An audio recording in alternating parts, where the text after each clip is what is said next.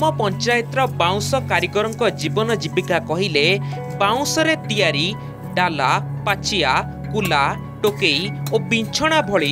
ଅନେକ ଘରକରଣା ଜିନିଷ ତିଆରି କରି ଗାଁ ଓ ହାଟରେ ବିକ୍ରି ଦୀର୍ଘ ବର୍ଷ ହେବ ଏମାନେ ଭୂମିହୀନ ଭାବେ ଆଦର୍ଶ ବିଦ୍ୟାଳୟର ପଛପଟ ପୋଖରୀ ଆଡ଼ି ତଳେ ରହିଆସୁଛନ୍ତି ହେଲେ ସରକାରଙ୍କ ଭୂମିହୀନ ପଟ୍ଟାଖଣ୍ଡେ ନ ମିଳିଥିବାରୁ ପ୍ରଧାନମନ୍ତ୍ରୀ ଆବାସ ଯୋଜନାରେ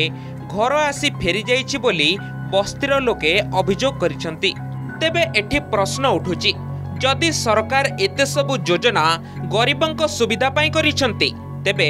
ଆଜି ଯାଏଁ ଏମାନଙ୍କୁ ଘର କଣ୍ଡିଏ ମିଳିପାରି ନାହିଁ କାହିଁକି ଆମେ ତ ପଚାଶ ଥର ହେଲାନି ଗଲେନି ତହସିଲ ଅଫିସ ଆଉ ତହସିଲ ସାର୍ କହୁଛନ୍ତି ହଁ ହେବ ଏ ବର୍ଷ ନାହିଁ ଆସନ୍ତା ବର୍ଷ ହେବ ଆସନ୍ତା ବର୍ଷ ନାହିଁ ତା ଆମେ ଆଜ୍ଞା କହିଲୁ ଏସ୍ ଟି ମାନେ ଏଇ ଆମ ଘର ପାଖରେ ଏସ୍ଟି ମାନେ ପାଇଲେ କିନ୍ତୁ ଆମେ ଏସ୍ସି ଲୋକ ରହିଗଲେ କହିଲେ ତୁମେ ଆସନ୍ତା ବର୍ଷକୁ ପାଇବ ଏମିତି ହେଇକି ପାଞ୍ଚ ବର୍ଷ ହେଇଗଲା ଆମେ ସରକାରଙ୍କୁ ଅନୁରୋଧ କରୁଛେ ଯେ ଆମମାନଙ୍କୁ ଜାଗା ଖଣ୍ଡିଏ ଦେଉନ୍ କିନ୍ତୁ ଘର ଖଣ୍ଡିଏ ବି କରିଦେଉନ୍ ଆମେ ତ ସବୁବେଳେ ଦୌଡ଼ିଲୁ ବ୍ଲକ ଦୌଡ଼ିଲୁ ଆଉ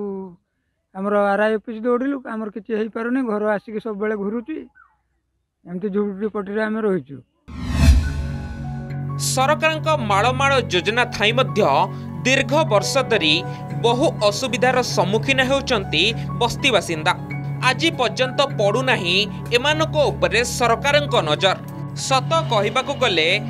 भूमिहीन लोक पट्टा जो दिया व्यवस्था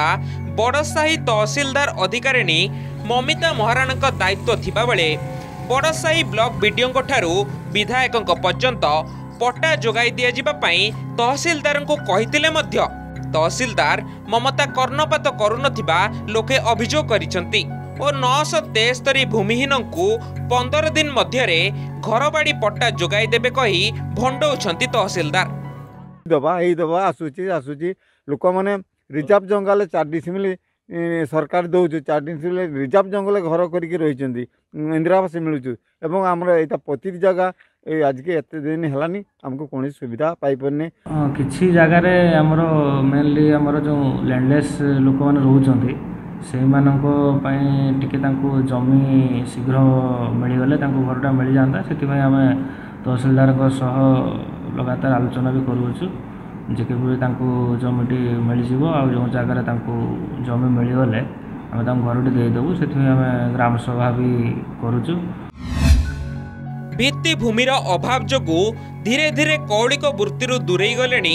ଅନେକ ପରିବାର ହସ୍ତଶିଳ୍ପ ବାଉଁଶ କାରିଗରଙ୍କ ପାଇଁ